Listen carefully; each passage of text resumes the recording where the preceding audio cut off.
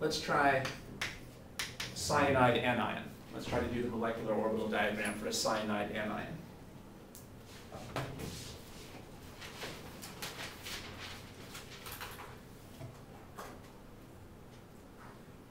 All right, so now it looks like we're doing a lot of things that are pretty similar to at least question 12 here. So question 12, they had NO and NO+, plus. we just talked about that. It's got cyanide ions, so this looks like what she wants you to know.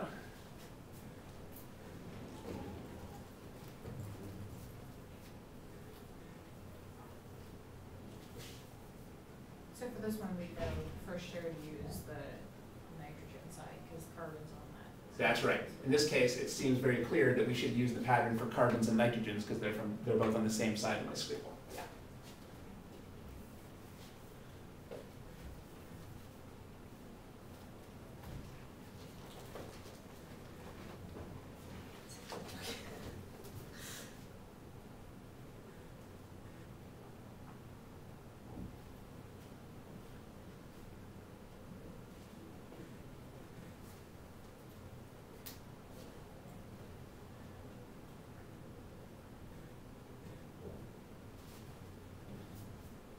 You off, right, because there's that minus there. Good. Oh, okay. Oh, oops, that's right. There's that one. Oh, taking one off.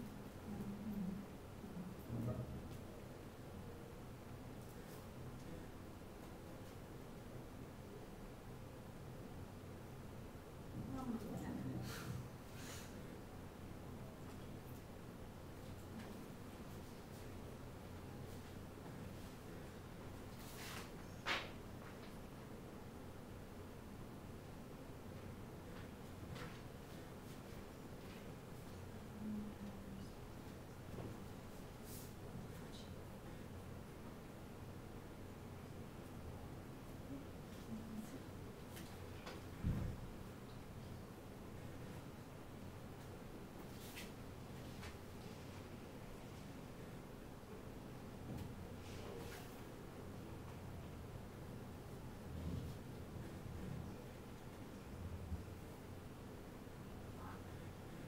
I'm gonna just stretch these out.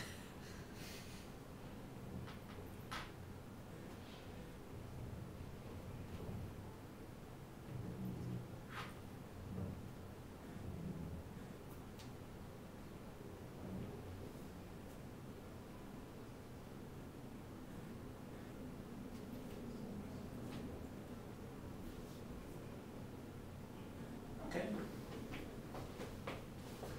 So a neutral, you might start with a neutral carbon and a neutral nitrogen.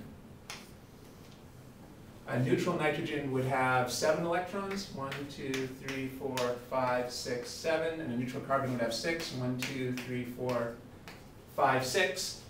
But since this has a negative charge, oh, um, so should I be adding or taking away an electron?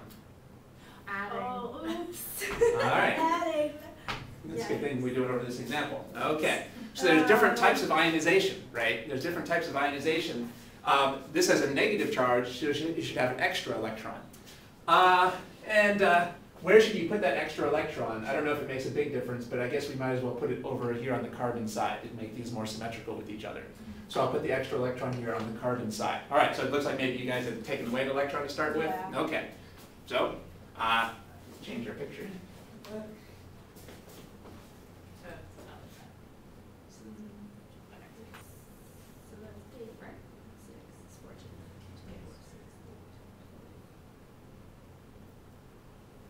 Wait, no. Sorry.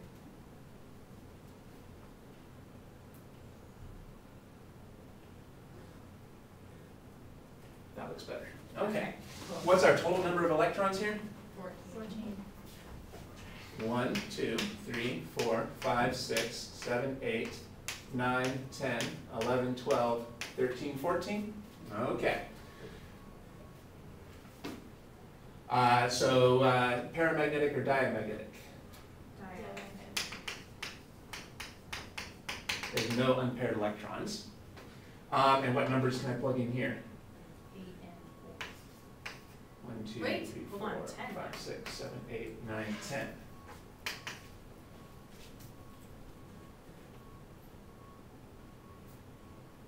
And four. Mm-hmm. So what do we get as the bond order? And it might be interesting to draw the Lewis structure of cyanide. The Lewis structure for cyanide is triple bonded. So this is a case where the two theories are giving us the same answer. So it looks like it's easy to make some careless mistakes here when counting the number of electrons. Maybe the best thing is start by writing down the electrons you would have if everybody is neutral. Then if you have an ion, you need to ask, should I be adding or taking away an electron? Well, positive ions, you take have one fewer electron, but negative, you have one more. Of course, the fact that this was negative doesn't mean that we added an electron to both atoms. It only has a negative one charge, so we only added one electron.